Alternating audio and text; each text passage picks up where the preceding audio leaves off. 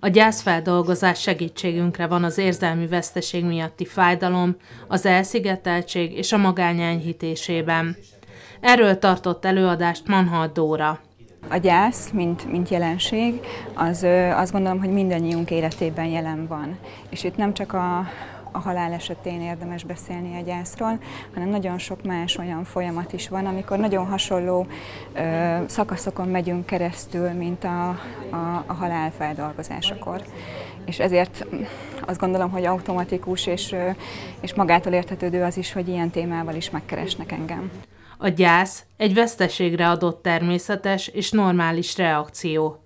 Mindazoknak a sokszor egymásnak ellentmondó érzéseknek az összessége, amelyet egy nagy változás életünk addig megszokott rendjének a felborulása okoz.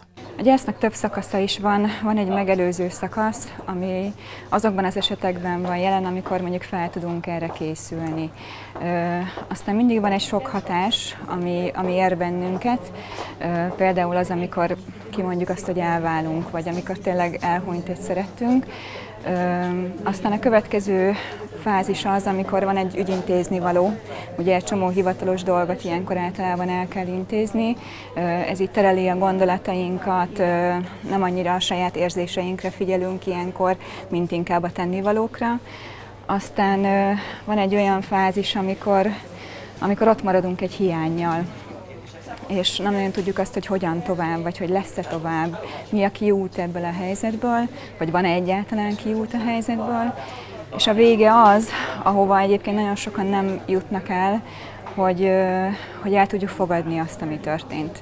Nem beletörődni, hanem, hanem elfogadni, és el tudom fogadni azt, hogy a, az életem megváltozik, és nem rosszabb lesz, hanem egyszerűen csak más lesz az élet ezután. A fájdalom, a hiány pedig ott maradhat bennünk akár életünk végéig, hatást gyakorolva ezzel minden egyes napunkra. A fájó érzésekből azonban van kiút, és fontos, hogy merjünk segítséget kérni. Nagyon változó ez, mert van, aki már az első percben, sőt, van, aki már a, a megerőző szakaszban, hogyha csak egy vállásról beszélünk, hogy, hogy azt érzem, hogy, hogy valami nem jó, és valaminek itt történnie kéne, de mondjuk nem merem kimondani azt, hogy, hogy el kéne válni, vagy hogy el kéne költözni, vagy, vagy fel kéne mondjam a munkahelyemet. Aztán tehát egészen ettől a fázistól de volt olyan vendégem is, ahol, ahol mondjuk már akár több évtized is eltelt azóta, hogy egy közeli hozzátartozója elhunyt, és a mai napig még, még ott van abban a sokban, abban a hi hiányban éli a mindennapjait, és nem tudott belőle kijönni. És akkor őt meg abban kellett segíteni, hogy abból ki tudjon jönni, és újra lendületet tudjon venni az élete. A gyászban az elakadást a be nem teljesült érzelmi kommunikáció okozza, és ebben tud segítséget nyújtani a szakértő. Mindenképpen az, hogy, hogy szembe merünk-e nézni a saját érzéseinkkel, és, és ez az érzéseknek a feldolgozása az, az elkerülhetetlen, mert hogyha ez nem történik meg, akkor nincs meg az elfogadás. Tehát ez mindenképpen, mindenképpen, hogy meg kell, hogy történjen, és ezt nagyon sokszor nem tudjuk egyedül megcsinálni.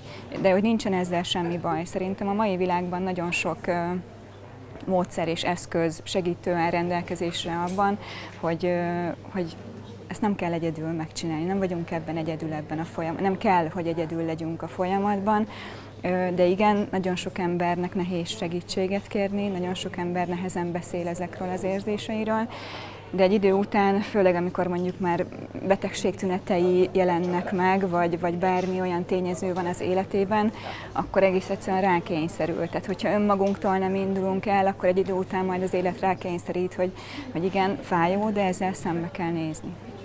Mivel az emberek és a kapcsolataik egyediek, ezért minden gyász egyedi.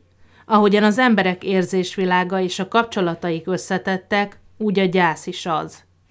Az igazság az, hogy a gyászolón kívül senki más nem tudhatja pontosan, hogy milyen érzések, gondolatok kavarognak benne. Maga a gyászfeldolgozás ideje is ezért változó. Ez több évtized is lehet, de, de ismertem olyan embert, aki mondjuk egy vállás után nem tudott fölállni abból a, abból a mély állapotból, és utána több évtizedet élt le így, és végül ebbe betegedett bele, és ebbe halt bele. Tehát, hogy hogy ez nagyon változó. Van, aki ez nagyon sok mindentől függ. Függ attól, hogy, hogy mennyire voltunk érintettek az adott kapcsolatban, függ attól, hogy mondjuk hány évesek vagyunk, függ attól, hogy amikor ez az egész megtörténik, akkor mi milyen lelki állapotban vagyunk, tehát milyen lelki állapotban talál meg minket maga az esemény, és függ attól is, hogy mondjuk mennyire hiszünk magunkban, az életben, abban, hogy lehet új és lehet jó. Tehát nagyon sok összetevője van ennek, hogy mennyi ideig tart. A gyászra, a gyászolásra nincsenek kőbevésett szabályok. Ami biztos, hogy változás történt az életünkben. A veszteséggel reményeink, várakozásaink, álmaink szerte foszlanak, a biztonságérzetünk veszélybe kerülhet. A feldolgozás folyamata és ideje is korosztályonként változó ezért. Van, amikor a gyerekek ezt sokkal könnyebben veszik, vagy a fiatalok, de, de azért sok olyan emberrel is találkoztam már, akivel mondjuk egy gyerekkori ilyen gyász vagy trauma történt, és, és felnőtt korban is még ennek a nyomai ott vannak, és látszanak, és nem tudott rajta túljutni. Praktikákat nem tudom, hogy lehet-e. Inkább a, az érzések feldolgozása talán az az egyetlen olyan praktika, ami, ami hasznos és ami tényleg eredményre vezet.